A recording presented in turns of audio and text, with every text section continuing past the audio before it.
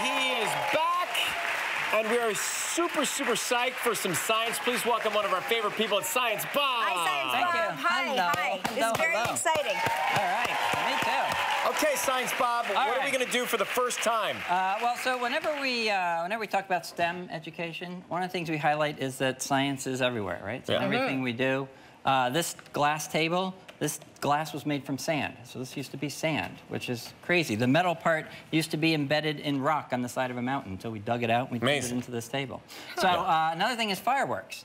Uh, fireworks are a celebration of physics and chemistry. We have rockets and we have colors and fire. So I thought we'd do a little firework chemistry here. Okay. All right, so uh, you guys got your masks down. Yeah. I'm gonna light these. These are gonna be our Bunsen burners for today. Okay. Um, if you want to just get a yellow flame, that's uh, one of the easier ones to get. So in this bottle, I've got some ethanol.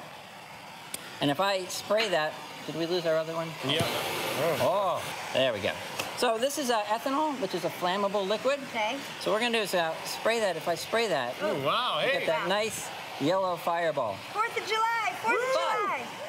Yellow fireballs aren't great. If you want uh, fireworks, you need lots of colors. Yeah. So Ryan, grab that one and uh, go ahead and spray that flame. You can get pretty close to it. There, that's good. Fourth of So July. this has copper in it, a copper salt. So we get this Ooh. beautiful green flame. Isn't that cool? And this one has strontium. You talked Okay, about okay, okay. you talked about the periodic table. This one has strontium in it, so you can go ahead and give that a try. Oh, beautiful. Oh, isn't that nice? So this is what you do if you want red fireworks. Fourth of July. Isn't that great? Hey. But cool. So that's uh, you know, depending on what you want. And if uh, if you, uh, I'll Nice, tell you actually, if you want some sparkles, this is uh, iron dust, and so we can add that, and then we get. So that's how fireworks beautiful. actually Fourth work. July. Great. All right, terrific. And then uh, I thought it might be fun to talk about something called nitrocellulose. Yes. A lot of times there are cool science inventions that happen by accident.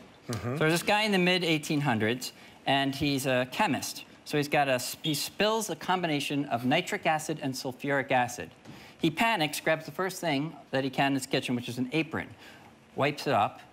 So he soaks it all up, cleans it all up, hangs the apron back up, assumes his wife will never notice. Right. Um, and then the apron dries. And what he didn't know is that combination of chemicals actually changed the chemistry of the apron. So here's what we're gonna do. Uh, Ryan. What did the apron become? Oh, oh, oh, oh, we're gonna show you.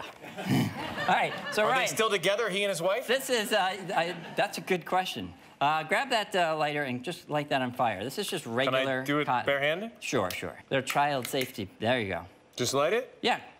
And if we watch that, it's kind of a cool reaction. It's like a We marshmallow Like roasting. baked Yeah, Alaska. and we can actually see it turning black, and that's the carbon that is Yeah. in the cotton, Uh, because it's an organic material.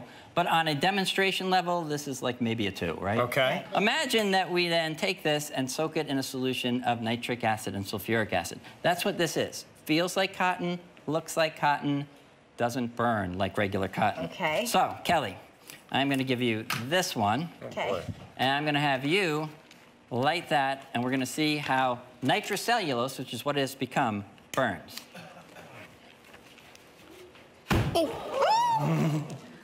It's gone. Magic. It's gone. A wizard. Wow. That was like from Harry Potter. No smoke. Look. So that's what happened to the apron. So and the apron vanished the and it apron disappeared. burst into flames by the oven. Yeah. No kidding.